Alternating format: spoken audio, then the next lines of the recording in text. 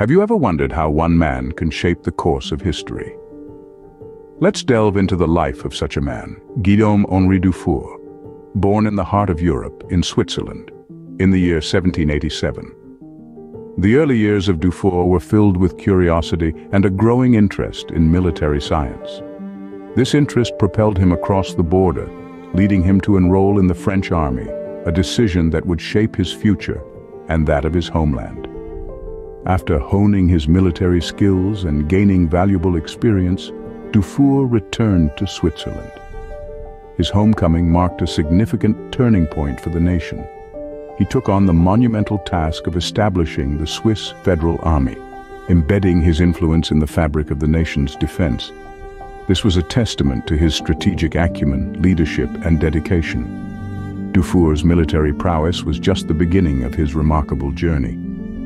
But did you know Dufour was not just a military man? His passion for the land extended far beyond the battlefield. He was a trailblazer in topography, a science that maps the surface of the Earth, and his contributions to this field are nothing short of monumental. In the mid-19th century, Dufour played a crucial role in the creation of the Swiss Federal Topographic Bureau, an organization that to this day continues to map the Swiss terrain. But perhaps his most significant work is the Dufour map. This masterpiece, the first topographic map of Switzerland, was a marvel of its time. It was painstakingly detailed, capturing the intricate landscapes of the Swiss Alps and the rolling hills of the Swiss plateau with remarkable precision. The Dufour map was more than just a tool for navigation. It was a testament to Dufour's meticulous nature and his profound understanding of the land. His remarkable precision in map-making still stands as a testament to his genius. Beyond the battlefield and maps, Dufour had a profound impact on humanitarian efforts. His dedication to the cause of humanity was nowhere more evident than in his role as a founding member of the International Red Cross. This was a concept born from the heartache of war, a response to the suffering witnessed on battlefields. Dufour, having seen such horrors firsthand, was moved to action. His commitment to humanitarian causes didn't stop at the formation of the Red Cross. Dufour played an instrumental role in the adoption of the First Geneva Convention in 1864. This international agreement marked a significant shift in thought, recognizing the need for the protection of those not actively involved in warfare, such as the wounded, the sick, and medical personnel.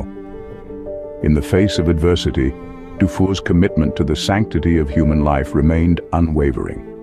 Dufour's influence extended far beyond his homeland, reaching the very heart of global humanitarian efforts. So how does one man's life reverberate through history?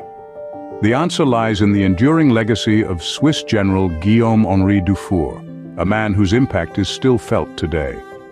Let's begin with his influence on Swiss neutrality. Dufour's leadership during the Sonderbund War, a conflict that could have torn Switzerland apart, resulted in a swift and relatively bloodless resolution. This not only preserved the unity of Switzerland, but also set a precedent for the country's future stance on neutrality. Today, Switzerland is renowned for its impartiality in global affairs, a testament to Dufour's foresight and diplomacy. Next, we turn to Dufour's contributions to topography. He spearheaded the creation of the Dufour map, the first topographical survey of Switzerland. This map, praised for its remarkable accuracy and detail, revolutionized the field of topography.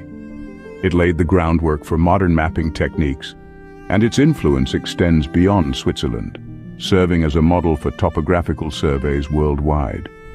Dufour's humanitarian spirit is also a significant part of his legacy.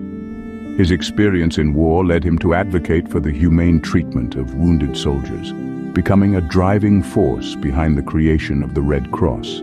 Today, the Red Cross continues to uphold the values Dufour championed, providing aid and relief in conflict zones around the globe.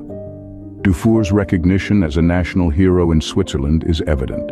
His image graces Swiss franc notes, a tribute to a man who played a pivotal role in shaping the nation's identity. Moreover, a mountain peak in the Swiss Alps, the Dufourspitze, stands tall in his honor, a fitting tribute to a man who towered over his contemporaries in both stature and accomplishments.